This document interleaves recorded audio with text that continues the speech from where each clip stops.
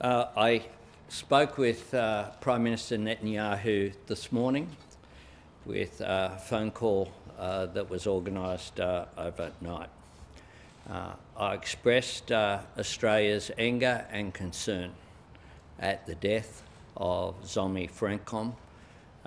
Zomi was an Australian aid worker working for the World Central Kitchen, providing support for people who are suffering from tremendous deprivation in Gaza. This is someone who is volunteering overseas to provide aid through this charity. This is completely unacceptable.